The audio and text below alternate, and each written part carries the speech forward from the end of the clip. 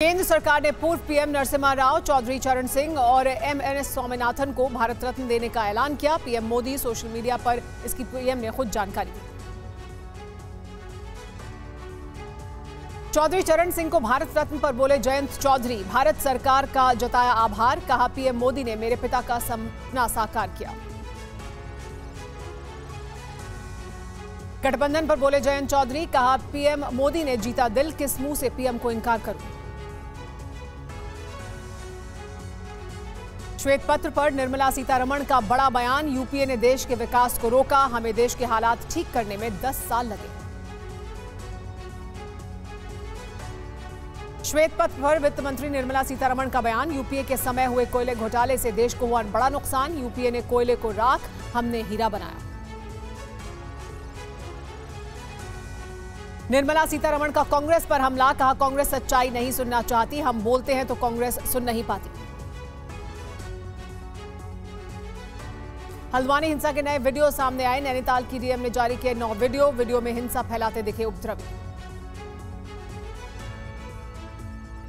TV nine Bharatvarsh पर चश्मदीदों ने बताई हिंसा की कहानी। ड्राइवर ने टीवी नाइन से कहा, जेसीबी पर पेट्रोल डालकर आग लगा दी। पुलिस वालों पर गोली चला रहे थे उपद्रवी।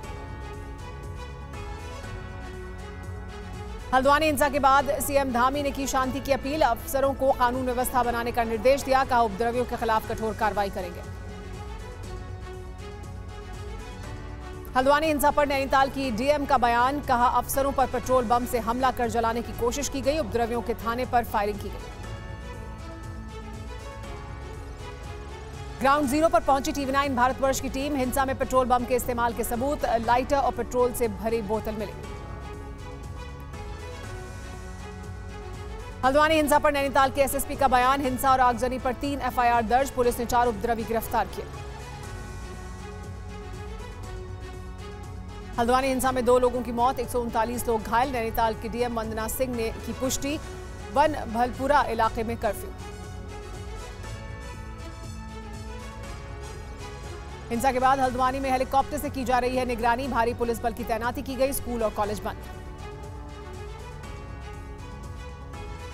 हल्द्वानी में हालात बिगड़ने के बाद इंटरनेट सेवाएँ बंद, आसपास के जिलों में भी पुलिस अलर्ट पर।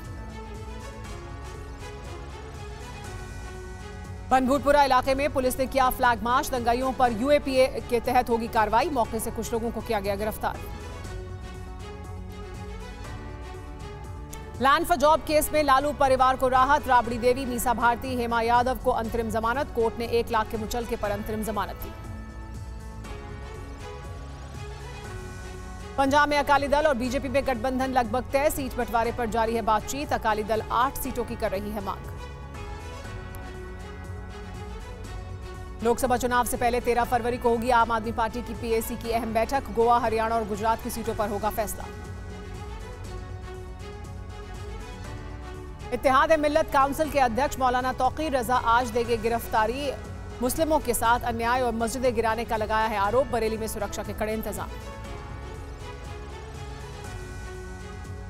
पाकिस्तान के आम चुनाव में वोटों की गिनती जारी, रुझानों में इमरान खान की पार्टी की बड़ी जीत की तरफ़ आगे बढ़ रही है। साठ से ज़्यादा सीटों पर इमरान समर्थित उम्मीदवार आगे चल रहे हैं। फिल्मैन प्रमुख और पूर्व पीएम नवाज़ शरीफ की मानसेहरा से हार, जबकि लाहौर से जीते नवाज़। आतंकी हाफिज सईद के बेटे की चुनाव में शर्मनाक हार। हाफिज के बेटे को पाँच हज़ार से कम वोट मिले। इमरान समर्थित उम्मीदवार से हारा तलहा सईद। कड़े मुकाबले के बीच पूर्व पीएम शहबाज शरीफ की जीत लाहौर के एनए 123 सीट से जीते शहबाज शरीफ। पीएमएलएन के उम्मीदवार शहबाज शरीफ तिरसठ हज़ार वोटों से जीते। नवाज़ शरीफ की बेटी मरियम नवाज़ भी चुनाव जीती। लाहौर के पंजाब पीपी एक सौ उनसठ सीट से जीती मरियम नवाज़। शुरुआती रुझान के बाद इमरान खान के समर्थकों में खुशी की लहर। फैसलाबाद में सड़कों पर उतरे पीटीआई के समर्थक।